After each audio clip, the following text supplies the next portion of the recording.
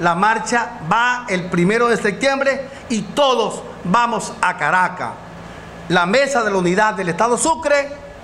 ya tiene comprometido más de 5 mil personas que van ese día como aporte a este Estado para la gran toma de, de Caracas. Estoy seguro que este año vamos a salir de este régimen oprobioso,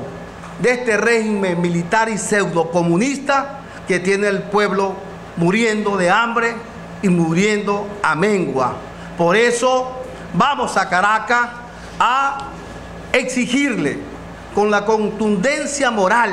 de este pueblo, exigirle a las cuatro comadres del Consejo Nacional Electoral que ponga la fecha de referendo revocatorio, que ponga la fecha del 20%, porque ese día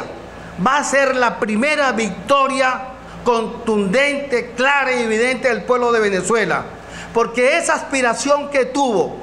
Chávez y que tuvo Nicolás de obtener 10 millones de votos, no lo pudieron hacer. Bueno, estoy seguro que ese día no vamos a, vamos a recoger no el 20%, sino 10 millones de votos, que esa va a ser definitivamente la sustitución de Maduro de Miraflores y la, y la reincorporación de un gobierno democrático, de un gobierno libre, de un gobierno progresista en Venezuela.